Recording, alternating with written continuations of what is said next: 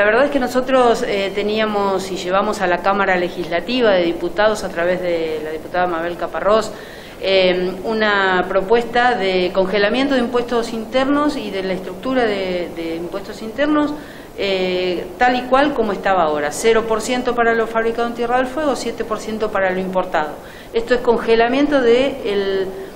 decreto del, del expresidente Macri. En realidad, eh, en la Cámara Legislativa claramente han hecho un trabajo, el trabajo que les corresponde, ha llegado el presupuesto nacional para el 2021 eh, algo distinto a lo que nosotros habíamos presentado. Hay que esperar los tiempos necesarios para el veto, a ver si el Gobierno Nacional va a vetar o no esto. La verdad es que desconocemos esa instancia, pero claramente adelantándonos un poco a esta jugada es que realmente o a esta situación, realmente eh, la preocupación quizás del gobernador Gustavo Melella y del, y del equipo un poco era conocer cómo eh, caía esto en la estructura de costos y en las posibilidades de las empresas eh, que están radicadas en la Tierra del Fuego de poder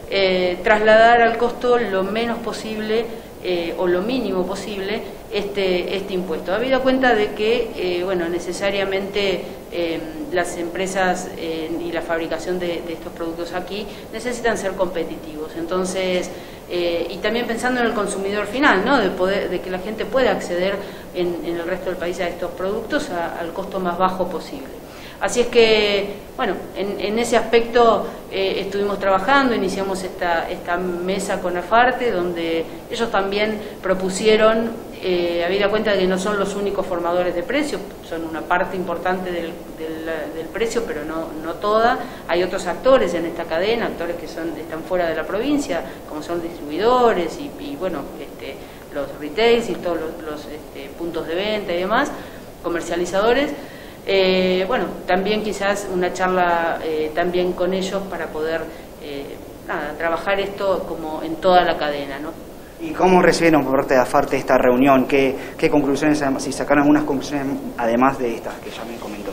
Sí, bueno, a ver, ellos nos explicaban, no es tan lineal, no es que son 6.55 que se va a aumentar directamente en el costo,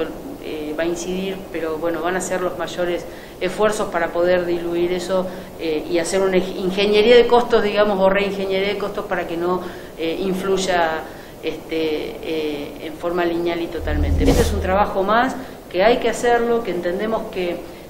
necesitamos acompañar a las empresas para, para que el consumidor final, o sea, esto que no se entienda mal, no es que acompañamos a las empresas solamente por las empresas, sino para que el consumidor final no tenga eh, en, el, en, el, precio eh, un aumento desmedido eh, por esta situación de este nuevo impuesto. Así que hay que esperar a ver si esto se hace realidad y se, digamos, a partir del 2021, si no hay ningún tipo de observación o veto de parte del Gobierno Nacional y de ser así,